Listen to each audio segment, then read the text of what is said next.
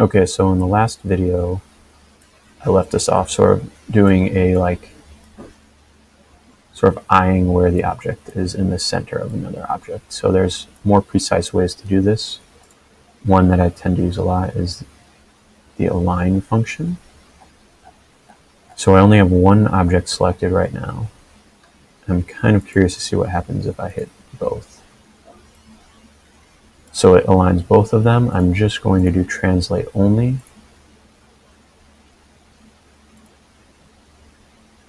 And I'm going to hit accept.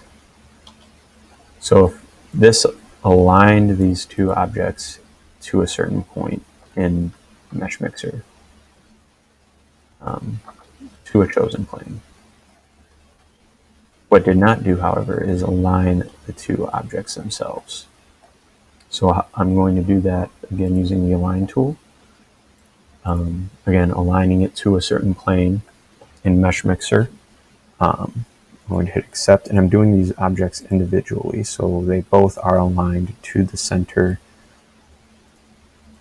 Ideally, then aligning these two objects themselves.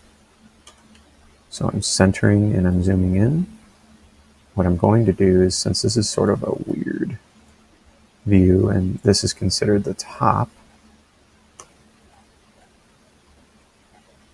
I'm going to transform this object down. Okay.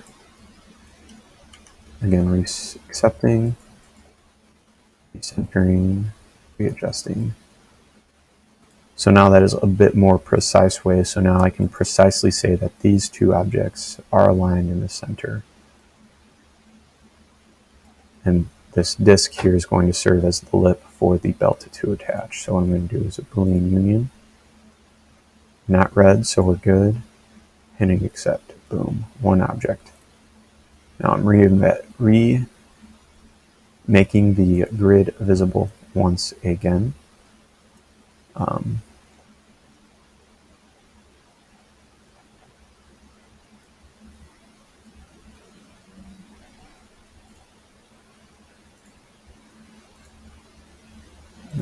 invisible again because that was too hard to see. So I'm going to edit this,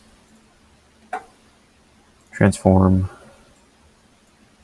move it up a little bit, make this visible.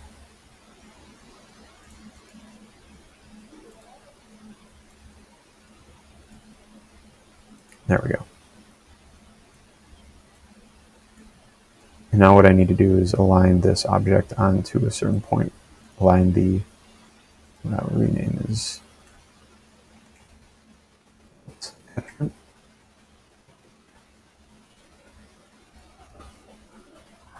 Going to align this on sort of an arbitrary point on the base. So I'm just eyeballing it right now.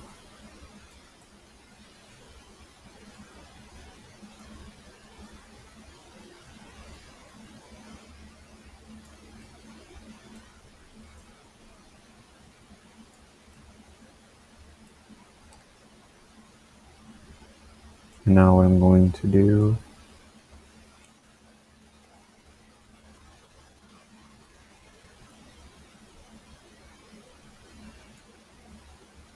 is I'm going to bring this to the edge here to where we can just start to see it peek out.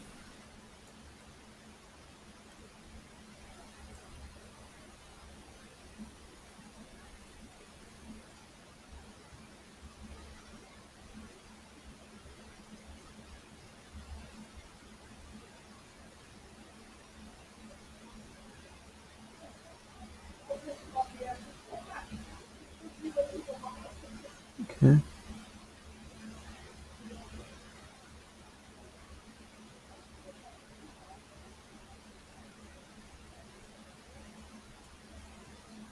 So I'm going to consider this the starting point. I'm going to change the scaling to 1. I'm considering that this is now at the edge of the base. And I'm going to move it 3 millimeters in.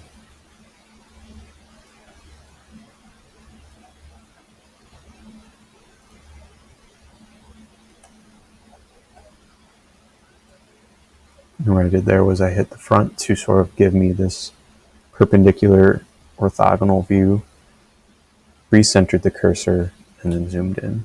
Um, I'm doing all the zooming by using the scroll wheel on the mouse. Um, if you're using a trackpad on an iPad or a MacBook or another laptop, is either uh, the same way you would scroll on a web page, whatever function you have that set as.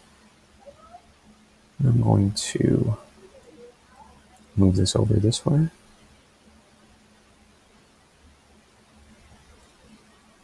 And this is going to be the set point for this belt. Except what I will do is I will copy it in four separate locations.